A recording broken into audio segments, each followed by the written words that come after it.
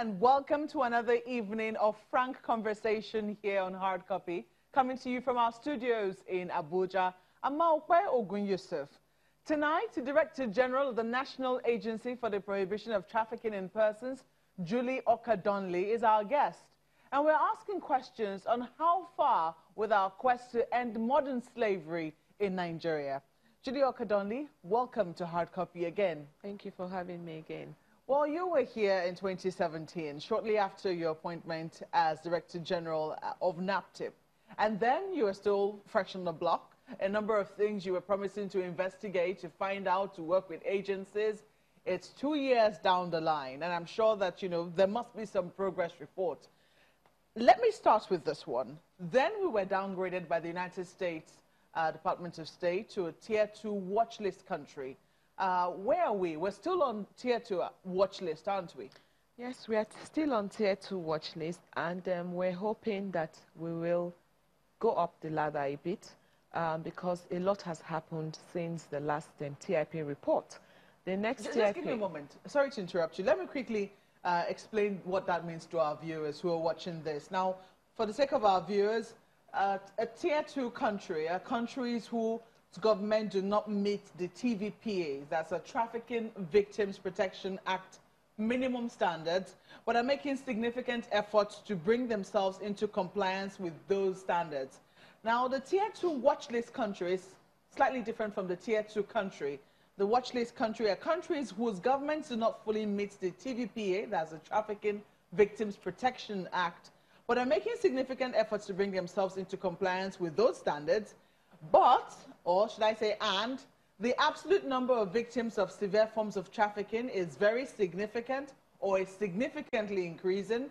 There is a failure to provide evidence of increasing efforts to combat severe forms of trafficking in persons from the previous year, or the determination that a country is making significant efforts to bring itself into compliance with minimum standards was based on commitments by the country to take additional future steps over the next year. Well, they're trying to hold countries accountable in essence. And it would seem that some of the criteria, we are not meeting them. That's why we're on the watch list right now, and we could be downgraded to tier three. I think only a few countries are on a special case, Libya and Somalia.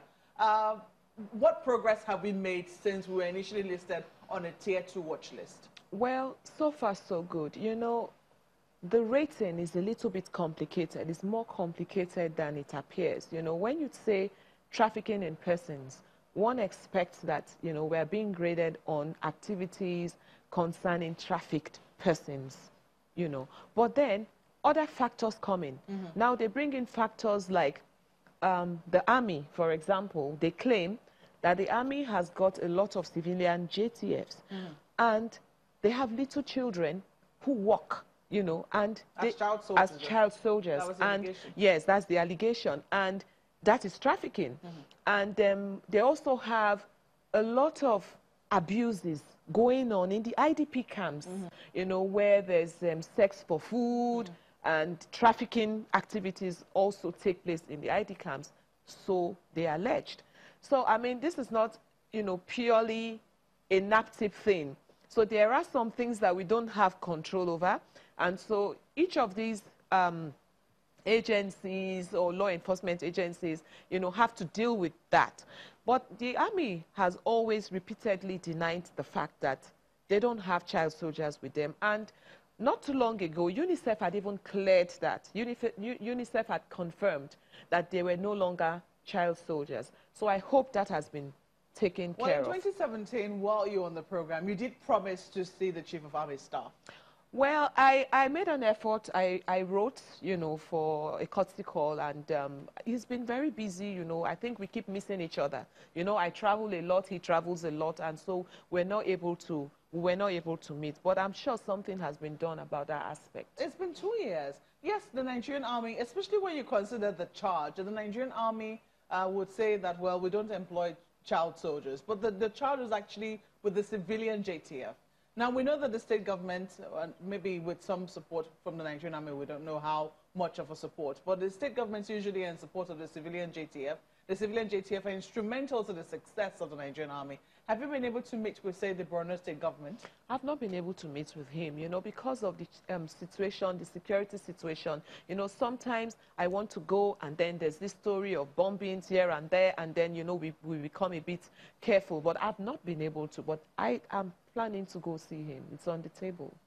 What about commitment to funding? Because part of the problem then was also decreased funding for NAPTIP. Has that improved? Well, NAPTIP's funding has improved, but I don't think that should be really an issue because states should be responsible. Mm. You know, I expect that every state would have a role to play mm. in fighting human trafficking. It's not a federal government affair. States must be responsible because these people come from states. They are indigenous of various states. Mm. And that is why we started setting up task forces in all the states. We started with um, Delta and Ondo State, and we're just going to go on and on until we have task forces in all 36 states. So the, the government, the state government can own the project and begin to see himself as responsible for his indigents. What this report tells me is that a government of the United States, the government of the United States is very concerned about trafficking and uh, not just trafficking, ending modern slavery. They're taking strong steps, and this includes holding other countries accountable.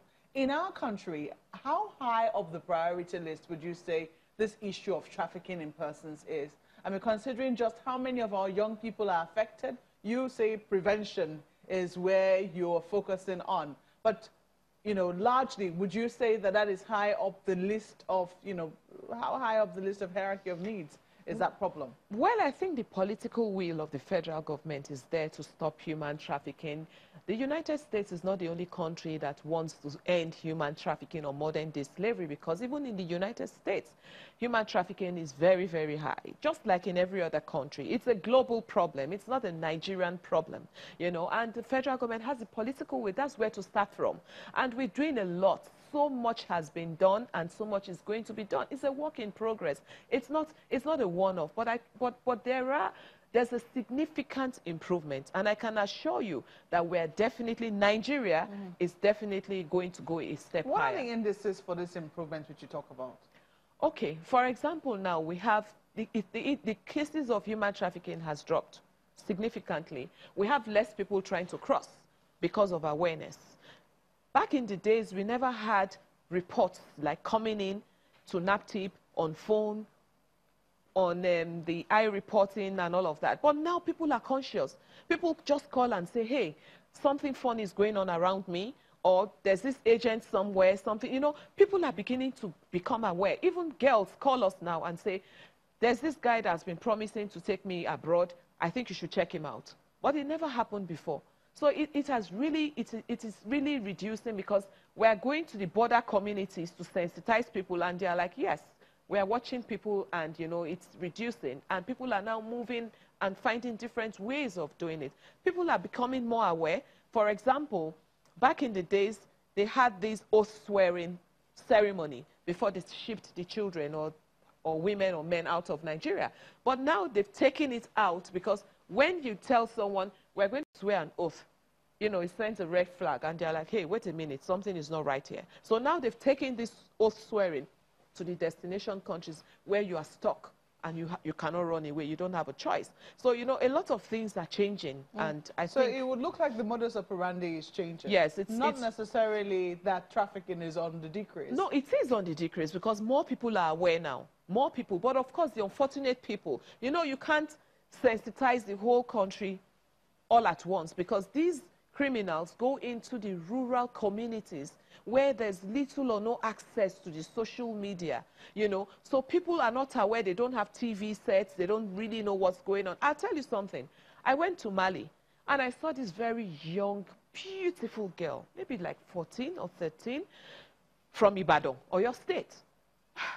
I mean, she, she, she, she obviously came from the deep rural communities. What they do is when they see people are becoming aware, they go into the nooks and crannies of communities where there's little or no, nothing, you know, going on, you know, and, and, and that's what they do. They keep moving, they keep moving, they keep moving. But as they are moving, we are also moving, and people are becoming more aware, and that's, that's just the way it is. How are you measuring the statistics of, the, of those who have been moved to other countries? Because you say that in the countries, I mean, the, the countries where they moved to, the numbers of people being trafficked are decreasing. How are you able to tell that? For example, in Italy, the numbers have dropped. Number of Nigerians? Number of Nigerians in Italy now going into Italy have dropped significantly. So we are told by the Italian authorities. Number of going, those going into Spain, France, and so many other countries like that has dropped significantly. And we believe that the awareness, people are getting more and more aware, even you, in the marketplaces now. You think it's only about awareness? Only recently, uh, we had a situation, I think channels did a report in Edo State, where returnees from Libya, not all of them, as you have clarified in the past, are trafficked persons. Some of them are people who went uh, to these countries mm-hmm. voluntarily. Mm -hmm. yeah. uh, but in the wake of the crisis in Libya, we've seen a number of people return. I think uh, at the last count, over 40,000 people were reported, 40,000 Nigerians were reported to have been repatriated voluntarily back to Nigeria. Um, and we now hear that some of them are saying they would like to go back to Libya because it looks like the conditions here in Nigeria I don't know, dire as they might have seemed in Libya, the conditions here, I don't know, don't seem to favor them. No, you know, like I said earlier in one of the interviews, anyone who has gone through that trauma and says he or she wants to go back mm -hmm. has to be examined. They most likely have a psychological problem. Trust me. Because no one in his or her right senses would go to Libya and want to go back to Libya. I have been there, so I'm giving you first-hand information. A lot of people that come back have psychological problems, and that is why the first thing we do is to offer them psychosocial support. Psychosocial support is not a one-off thing. It's not a two, three-day, four thing. You have to follow them up aggressively until you are sure that they are back in their right senses. So trust me, those who are saying they are going back definitely have to get themselves re-examined, if that is if they were examined in the first place. They need help. But you have been working with state governments. So some people say it's because people don't have things to do here. Uh, that our youths are idle. Let me take a state in point. The Edo state government initially, can you quickly tell us about that? Initially, it was seen that there was a row between yourself and the state government in, in, in Edo. But has that been resolved? we have a very good relationship. I am not sure there was a row per se. Mm -hmm. I, as the I, as the director general of NAPTIP, mm -hmm. wanted those who had set up a task force, and Edo State had set up a task force. They were the first to set up a task force to do the right thing. And what is the right thing in this context? The right thing is to ensure that before you go embark on a rehabilitation process, you must have a shelter. But at the time, they did not have a shelter. I think they are trying to build a shelter now. Edo State did not have a shelter at the time. And the question was, how do you expect to rehabilitate the victims who have re been returned back because they are likely to go back again. The first thing is to shelter them. There's a protocol for rehabilitation. First of all, you must put them in shelters, then give them psychosocial support. Mm. After psychosocial support, you now rehabilitate and empower them. You just said they were likely to go back. Why would they go back? Because of the... Because the, there's nowhere for them to stay. Of Most the of them sold faced? their properties. Mm -hmm. Most of them are down, you know, like some kind of ill ailments. Most of them have psychological problems. So they need to be kept in a shelter where they will be given all these services before you can succeed in empowering them. That was it. But now we've, we've, we've sorted it out because we need each other. We need mm to work with each other. I paid the Edo State governor a courtesy call a few days ago. Um, we went on a visit to Delta and Ondo to set up the task forces. So we trained the task force of Edo State, and then we went ahead to inaugurate Ondo State, Delta State, and also trained the task forces. Well, we're going to also ask, how big is this problem of organ harvesting? Uh, in 2017, the DG had promised to investigate uh, issues of ritual murders where people thought that this uh, were just done for, you know, rituals in Nigeria. She said she thought it was about organ harvesting. What investigations and inroads have been able to make in that regard? In just a moment, please stay with us.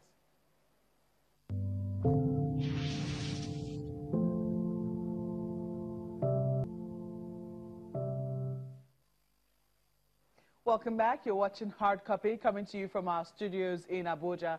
The Director General of the National Agency for the Prohibition of, Prohibition of Trafficking in Persons, Julie Okah-Donli, is our guest, and we're asking questions along the lines of ending modern slavery in Nigeria. Let's quickly talk about, you know, the ritual murders, which you said in 2017 you suspected uh, were cases of organ harvesting. Was that really the case? Well, I want to believe it's the case because still we have problems where murders where body parts are taken out are ruled by the police as ritual murders. But I've told my investigation officer that he needs to reach out to the investigators for us to have a joint investigation. But you know, sometimes it's not that easy to have law enforcement agencies come together to have joint operations.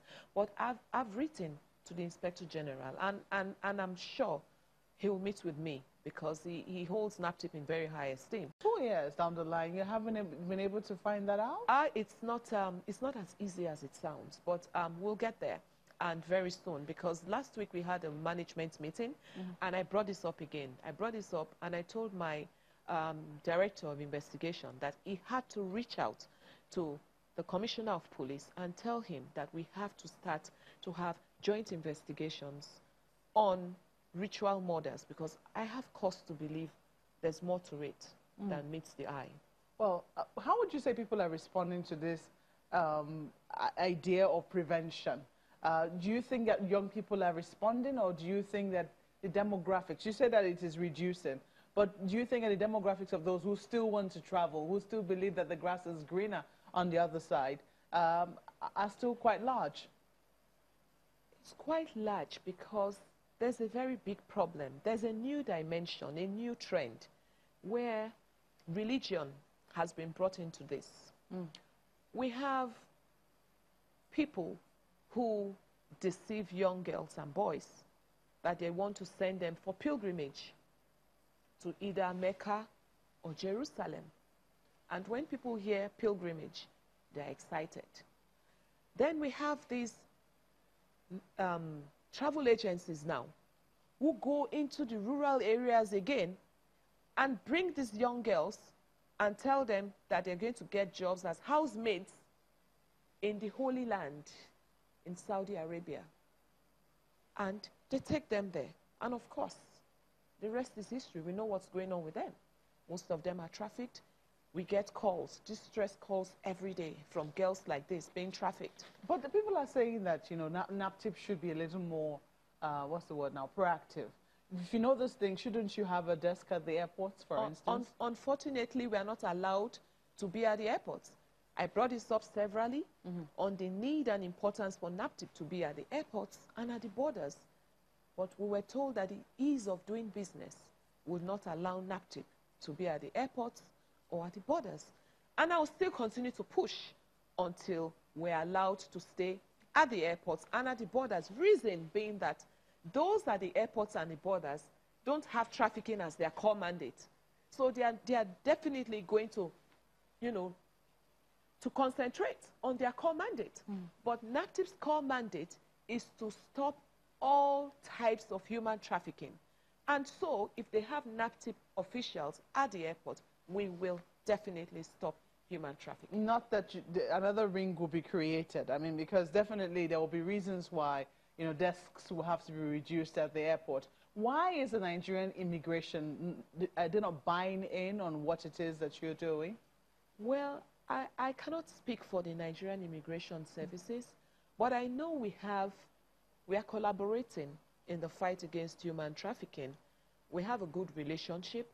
Um, the Comptroller General and I are on good terms, um, and we're both trying to see what we can do to ensure that we bring it to the barest minimum. But like I said before, that is not their core mandate.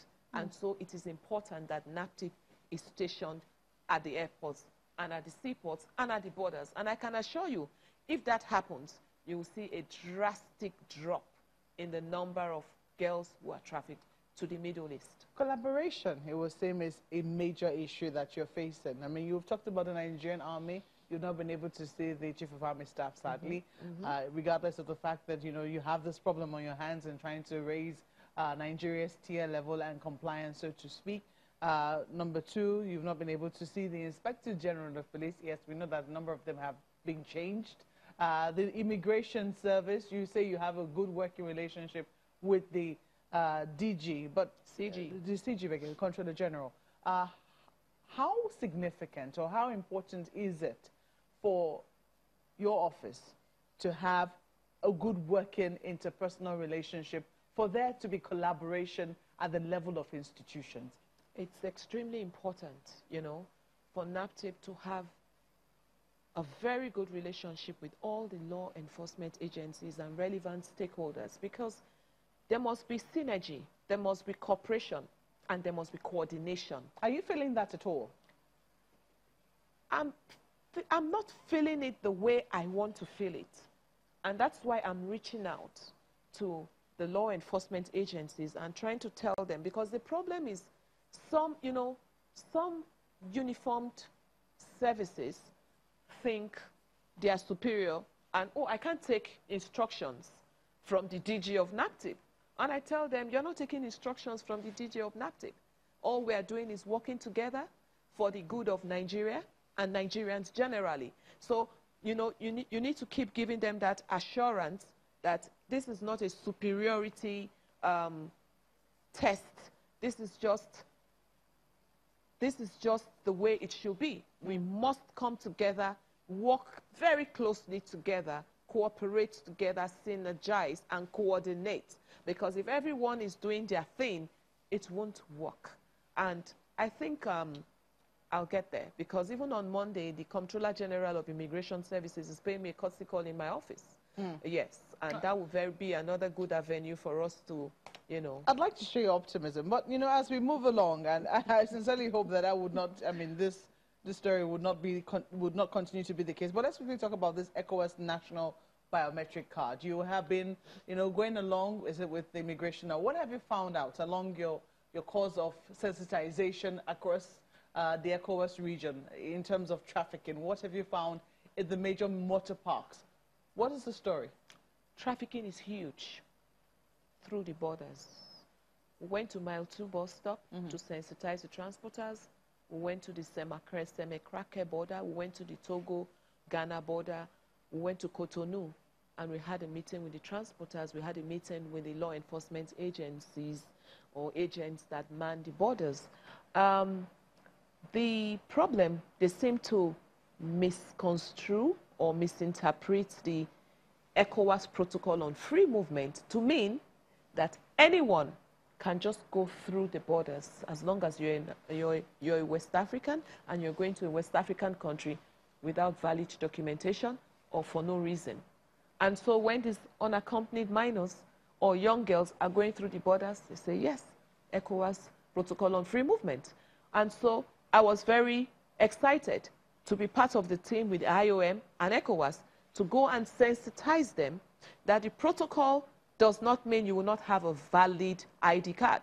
Mm. Some people cannot afford international passports, but this ID card is going to enable everyone to go through, but for documentation purposes. I understand that we're yeah. totally out of time, but just quickly, do you think this ID card is going to help end trafficking? Will it make any difference? It will help because, I mean, everyone, you, all your details are there. So you're able to take records of who is going out, who is coming in, and of course, it will make people now begin to understand better you can't go there. What are you going there for? You know, mm. go back and all of that. So they'll take it more seriously because now they just don't care. Let us see how that goes. But Julie Okah-Donli, thank you for coming on Hard Copy tonight. Thank you for having me once more. Well, that's the program tonight. Do you think NAPTIP can win the war against human trafficking? Your views and comments are welcome to the address showing on your screen. Thank you for watching. I'm Mao Yusuf. Good night.